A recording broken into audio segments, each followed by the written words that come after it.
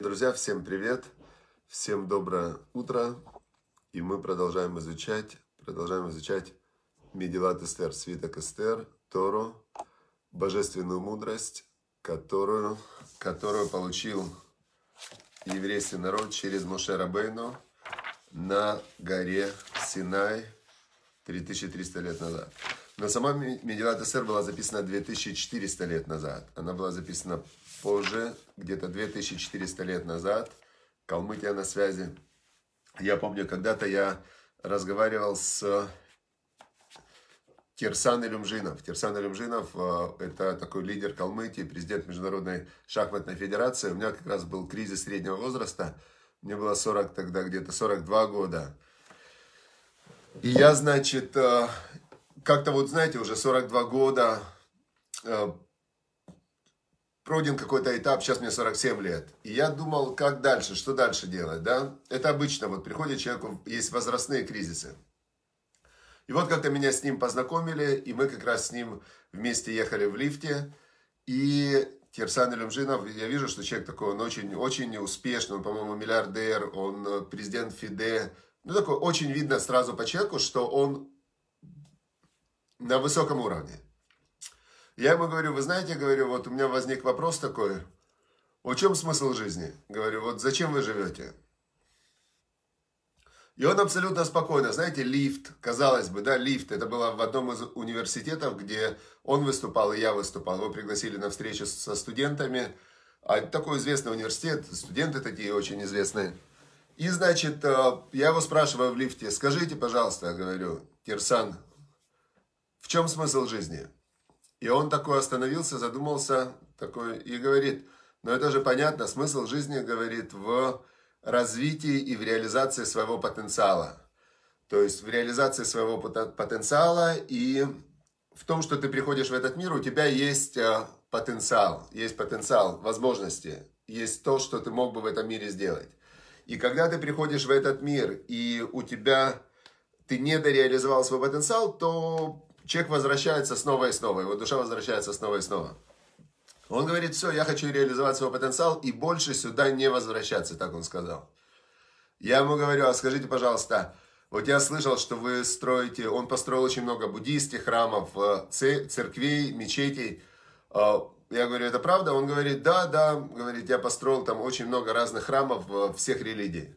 Я говорю, а синагогу? Он говорит, и синагогу построил. То есть я строил именно места, в которых люди могут молиться Богу. Дальше я не рассуждаю, как они молятся, что они делают, пускай молятся.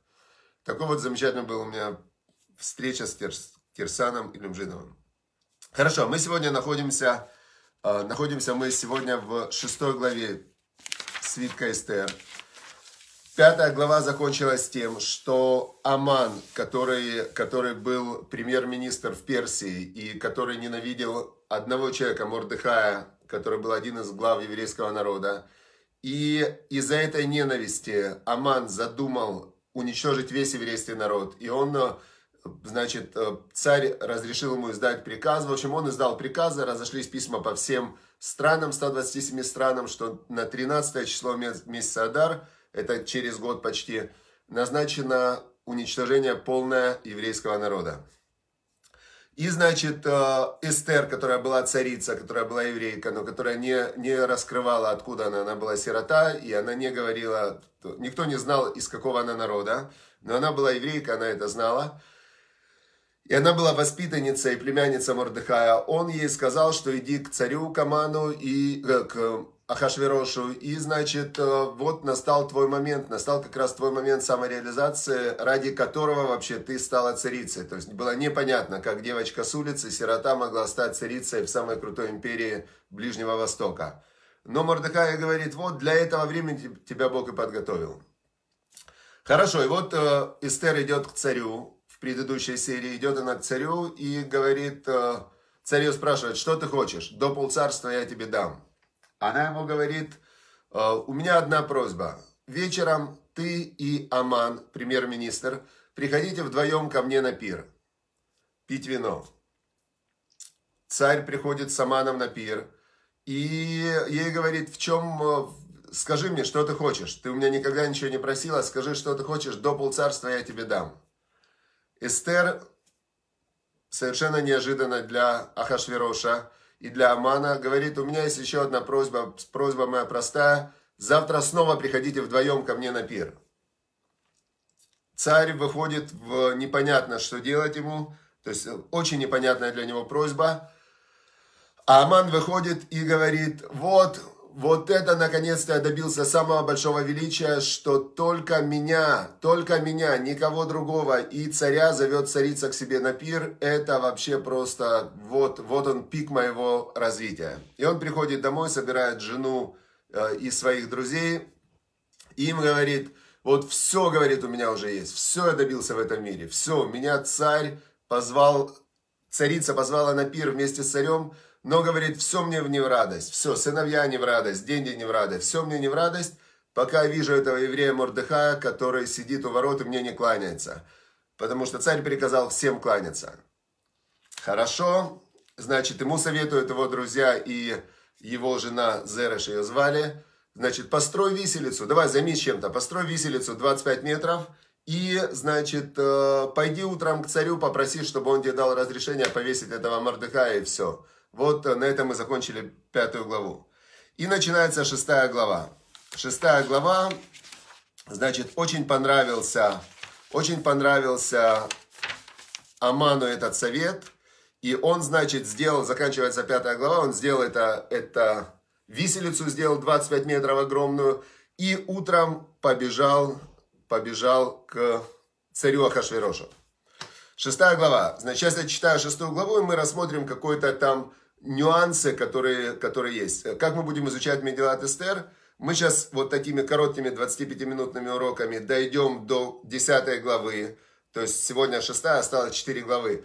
А потом будем разбирать, когда уже мы будем знать полностью все содержание, мы будем разбирать глубинные законы, которые раскрыты уже в Талмуде. То есть есть верхний слой, а есть глубинный слой. И мы закончим с Божьей помощью к Пуриму, мы закончим изучение Медилат Эстер, будем точно понимать, а, что было, что думали люди, зачем это было и какие духовные законы там действуют. Шестая глава.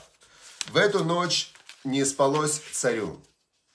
И сказал он принести книгу воспоминаний, то есть свой ежедневник такой, да, а, и начали его читать перед ним. То есть у него внутри было какое-то беспокойство. Интересно, что у многих людей вот бывает спишь хорошо, бывает не спишь. Вот какое-то беспокойство, какой-то внутри есть э, там вопрос, сложность, проблема, какая-то не, неувязка. И вроде бы должен спать, ложишься и не спишь. Я знаю, что такое бывало почти у каждого. И в этот момент надо понять, что в мозге включилась какая-то программа, которая вот требует решения. Какого-то там, знаете, как искрит. Искрит и в нервной системе искрит в подсознании – и что-то тебя пытается беспокоить, чтобы ты это решил. В общем, царь Ахашверош, у, у него искрило, он не спал, и он говорит, а ну принесите мне мой ежедневник, я хочу почитать свой дневник э, ежедневного успеха, да, он вел, наверное, дневник ежедневного успеха, как ведут многие люди, где-то я что-то не доделал, не понимаю что. Э, и нашли, и нашли написано, что сказал Мордыхай, по поводу двух охранников, которые были, хотели убить царя, то есть был заговор против царя, мы уже это изучали, и они хотели его убить, э, убить царя Хашвироша. И сказал царь, а что сделали, какую дали награду, какое дали величие, как отблагодарили человека, который спас мне жизнь за это. И сказали ему его помощники, не сделали ему ничего, ничего ему не дали. Царь думает, вот это меня спасло мое подсознание. И сказал царь, кто сейчас в, во дворе?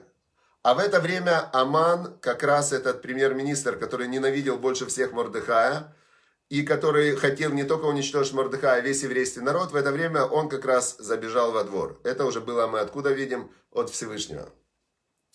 В Аман Бали Хацер Бейтамелах Ахицана. Аман забежал в, во внешний двор, во внешний двор дворца, и забежал он для того, чтобы сказать царю повесить Мордыхая на дереве, на виселице, которую он ему подготовил.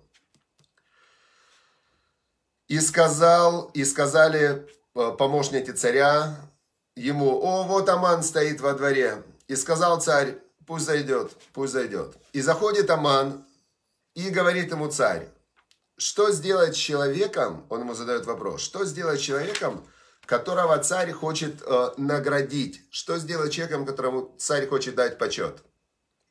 И сказал Аман в сердце своем, так как эта книга это пророчество, то мы знаем, что было у него в голове. Обычно мы не можем знать, что было у человека в голове, что он думал. Но так как эта книга это пророчество, мы знаем, что он думал. И сказал, значит, э, и сказал Аман в сердце своем, то есть про себя, о, кому хочет царь оказать вот такой почет, больше, чем мне. То есть Аман в это время был на вершине, э, на вершине успеха. Знаете, бывает, когда вот прет, и ты просто в, вот, ну, все получается, все складывается. И Аман был как раз на вершине успеха, и поэтому он думает, вообще как удачно сложилось. Вчера меня позвала царица вместе с царем на вечерний пир, да, значит, выделили меня, вообще подняли. И позвала с пира, позвала на следующий пир, сегодня вечером пир. Тут сегодня я сейчас повешу Мордыхая, своего врага, которого я ненавижу вообще, и у меня вообще я пойду на пир веселый и счастливый. И тут еще царь, я пришел просить за Мордыхая, и тут царь меня самого вызывает и говорит, как мне наградить человека, которого я хочу оказать ему почет. Конечно, это про меня. И говорит ему Аман. Говорит ему Аман. Значит, э, человек, которого царь хочет э, вознаградить, дать ему почет, пусть принесут царскую одежду, которую надевал царь, и коня, царского коня, которого на нем ехал царь, что все знали, у царей были особенный конь такой, который именно царский конь. И, значит, э, такого коня, на которого одевали царскую корону. То есть, очевидно, когда царь ехал на парадные какие-то выезды, то у царя же было много корон, то на коня этого особенного надевали еще эту корону.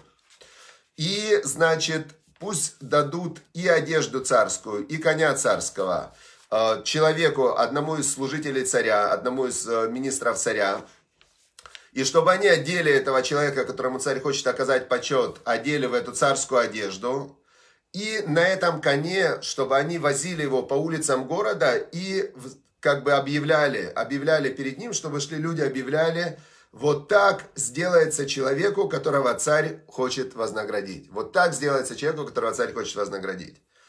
Значит, о ком он думал в этот момент? О себе. Что в этот момент понял о нем царь? В этот момент понял о нем царь, что следующая ступень, ведь люди же не останавливаются. Вначале человек хочет 100 э, рублей, потом у него есть 100, он хочет 200. Когда хочет 200, хочет 400 и так далее.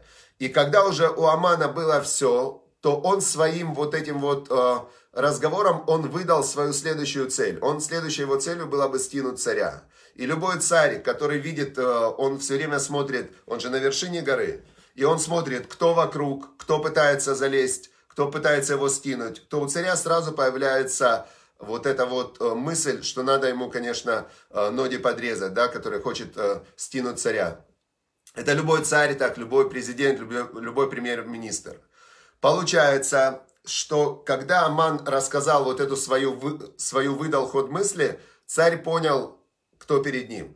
И вторая интересная вещь. Помните, вчера мы говорили, почему Эстер два дня звала царя и Амана к себе на этот пир одним из ее расчетов, одним из ее расчетов было то, что царь, он начнет ревновать. Что царь, он будет ближе смотреть в ситуации, когда Аман напьется, она же их поила вином, и царь в этот момент, он сможет увидеть сущность гнилую Амана. Он увидит, знаете, когда вино заходит, выходит из человека тайна, выходит его сущность. И одним из расчетов Эстер было напоить э, Амана и царя, и вызвать между ними ревность, то есть не между ними, а между тем царем и Аманом. Значит, э, и тут Аман сам рассказывает, что он хочет сделать. «И сказал царь Аману, быстренько, прям так написано, Маэр, быстро, возьми одежду и коня, которые, о которых ты говорил, и сделай так Мордыхаю, еврею, а Иудии, который сидит в воротах, и ничего не пропусти из того, что ты сказал. Ничего не пропусти а, из того, что ты сказал. И взял Аман одежду, и взял Аман царя, и одел он Мордыхая, и посадил его на этого коня, и, значит, э, начал возить его по улицам города и кричать перед ним, так сделают, так сделают человеку, которого царь хочет наградить, которому царь хочет оказать почет. Это было для него неожиданный, неожиданный разворот. Вообще очень неожиданный разворот. Такое бывает в жизни. Такое бывает в жизни неоднократно, когда, например, вот я вчера смотрел фильм, как раз Иран, вот все сходится. Э, в Иране был шах, в Иране был шах. Иран была самая свободная страна Ближнего Востока. В Иране этот шах, он полностью убрал вообще, это была антиисламская страна, в которой вообще полностью была как западная страна. Он вводил там просто как Англия на Востоке.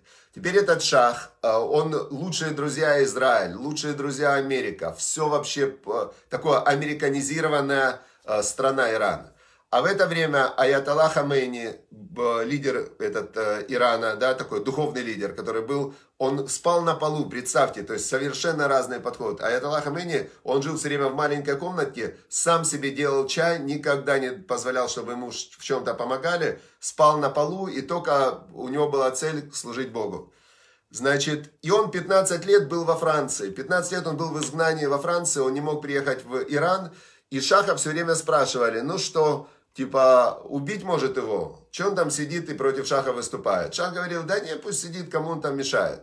И 15 лет сидел э, Аятолла Хамени в, во Франции, а Шах в Иране. И тут начинаются демонстрации, начинаются, там миллионы людей выходят на улицы.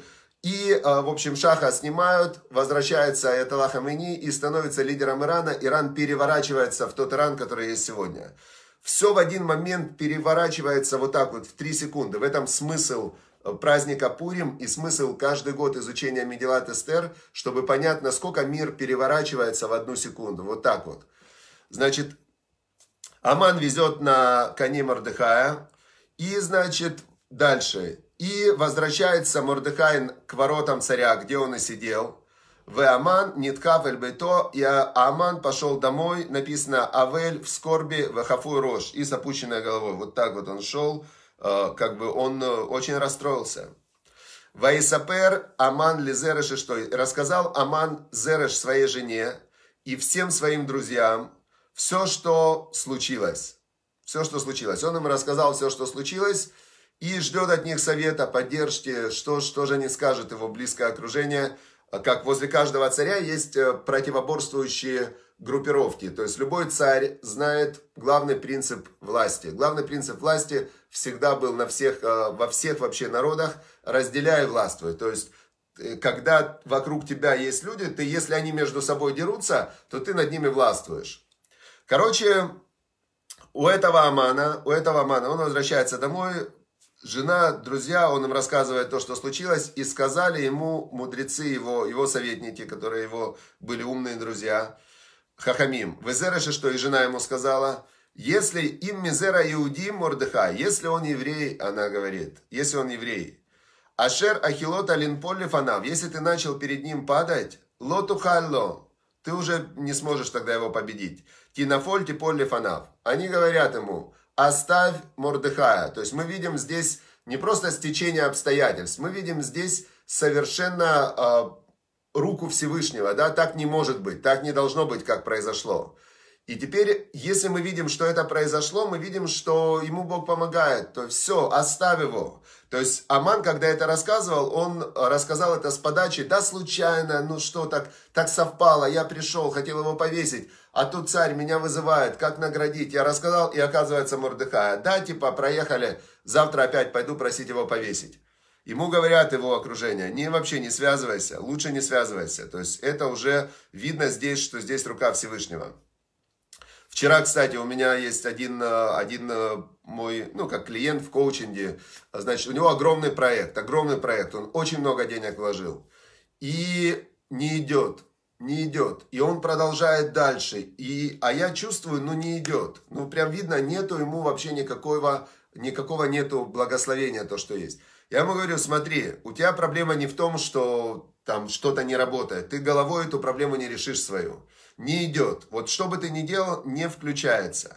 Я говорю, сейчас я тебе советую. Бери, иди, как-то связывай свой проект, помогай детдомам, делай какие-то, ты лучше те деньги, которые ты собираешься дальше вкладывать в проект, вложи в благотворительность, вложи в добро, вложи в духовность. То есть, пока не включится на небе краник, я говорю, не заработает. То есть, когда ты уже создал какой-то проект и не прет, то дальше все это все с неба. Все, давай лучше ты деньги вкладывай сейчас в детские дома, в сирот, во вдов, там, помогай людям, говорю, чтобы у тебя включилось какое-то, ну не идет тебе. Значит, а, я часто своим клиентам даю такие советы, они смеются, ну, то есть, э, каждый в разной степени религиозности, но я не скрываю, что я знаю, что все от Бога. Так одна такая очень бизнес-вумен, она ко мне обратилась, чтобы я ей помог э, создать план, там, стратегию, как выйти замуж. Я говорю, слушай, вот в твоей ситуации, я говорю, точно, только молиться. Только молиться, потому что здесь стратегии никакие не помогут. Молись, если тебе с неба повезет, значит, э, выйдешь замуж. Нет, тут это не стратегический вопрос, это вопрос, э, как на небе решат. Она говорит, да, хороший ты коуч, мол, вообще такого совета от коуча, я, говорит, никогда не слышала. Хорошо, значит, ему дали совет тоже его жена и его близкие, говорят, не связывайся, раз он Мизера Иудим, раз он из э, народа Израиля, который народ священников, значит, все э, лучше не, не связывайся.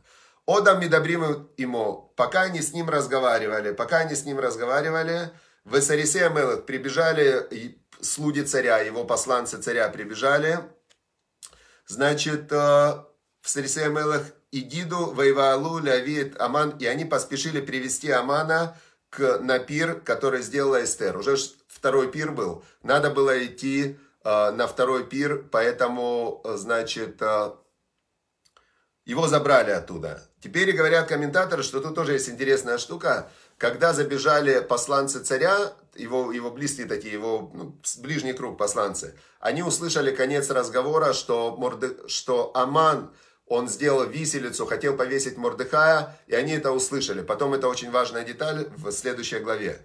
Все, следующая глава, значит, мы завтра будем седьмую главу изучать с Божьей помощью. А я хотел рассказать одну историю, значит, хотел я рассказать одну историю, которая очень сюда подходит. Вот как раз я, сейчас, секундочку, пока, а, пока разговаривать с ним. Значит, как это работает? Значит, э, один человек, есть у меня замечательная книга такая, невероятная она называется. Это история одной семьи, История одной семьи. Рассказывается история семьи от э, инквизиции в Испании. Это первое упоминание этой семьи. Их как бы, э, ну, один из их предков. Он был последний, кого инквизиция уничтожила. Он был, э, в общем, неважно, эта часть неважная.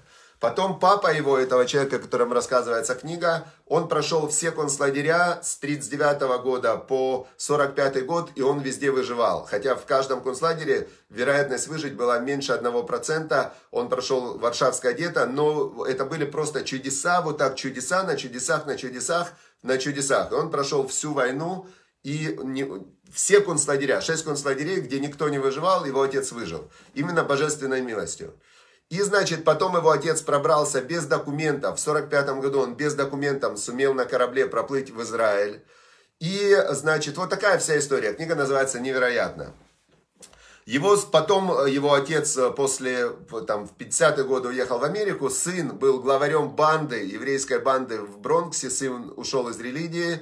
Потом сын был в армии, в спецназе, торговец оружием. И в 50 лет он, он Хазар Бетшува, он стал религиозным и возглавил одну из, э, сделал такую э, организацию Арахим, он стал директором Арахим, которая возвращала евреев к Богу, к Торе, такая организация. И, значит, э, рассказывается про него, что такое невероятно. Маленькая организация, их сидит пять человек и планируют, что в будущем году можно сделать, как расширить свою просветительскую деятельность в Израиле, чтобы возвращать евреев к Торе. он такой, этот зовут его Равьос Валис, он, значит, э, сидят они пять человек, планируют какие-то планы, там все, как, образовательные семинары, образовательные эти, все. И тут стук в дверь. Значит, стук в дверь, он открывает дверь, стоит какой-то раввин, такой раввин с бородой. Э, говорит, я хочу поговорить с Йосиф Алисом. Э, он говорит, вы знаете, у нас сейчас собрание, вы посидите вот в, в комнате, а мы закончим, и я с вами тогда поговорю. Этот раввин сидит с открытой дверью, слышит все их планы. Они планируют, но у них нет денег. вот нету денег. То есть планы есть, денег нет. Теперь, заканчивая они планы, этот Йосиф Алис говорит, ну, значит, э, с Божьей помощью планы у нас есть, а денег нет. Теперь, значит, э, я думаю, что если Бог захочет, Он даст нам деньги. Э, говорит этому раввину, здрасте, вы кто? Значит, тот говорит, я, меня зовут Рав Шимшан, Шимшан Пинкус, фамилия его была Пинкус, я Рав города Фатим. Я приехал, чтобы с вами познакомиться, я слышал о вашей работе, и мне было интересно на вас посмотреть. И как раз вот э, божественным проведением я услышал все ваши планы на год, и услышал, что у вас нет денег. Говорит, я вам предлагаю завтра, послезавтра сразу же не ждать, вылетать в Америку. В Америке я вас познакомлю с самыми большими еврейскими жертвователями, которые жертвуют деньги на образовательные проекты, на все проекты.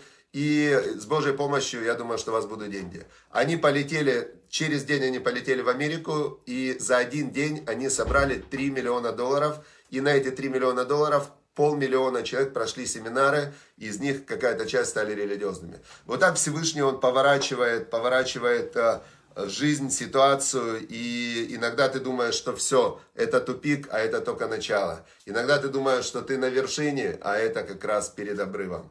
Поэтому, поэтому что мы можем делать? Царь Соломон нам сказал, что делать в конце Экклезиаста. Совдавар, в конце концов он говорит, Аколь Нишма, все понятно. Бога бойся, заповеди его соблюдай, тизе коля адам. В этом весь человек. Для этого человек был создан. Это основа, фундамент его жизни. С этим он уйдет из этого мира в следующий мир. И, значит, э, все, Бога бойся, это значит все время чувствовать с ним связь, чувствовать его управление миром заповеди его соблюдай. Есть что делай, не делай. Вот меня очень э, удив... не удивляют, но есть часто люди говорят, я Бога люблю, но какие заповеди, какие заповеди? Если ты Бога любишь, ты должен эту любовь выражать. То есть это как, э, как вот просто люди, когда общаются, как, они, как ты знаешь, ты любишь человека или не любишь? Через действие. Заповеди это действие. Вот если тот, кто Бога любит, он должен делать какие-то действия. Как минимум, помогать другим людям, которые тоже являются по образу Бога. Все.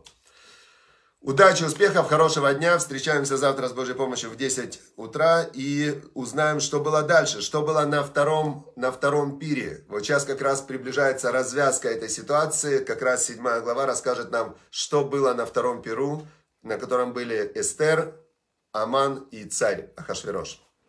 До завтра.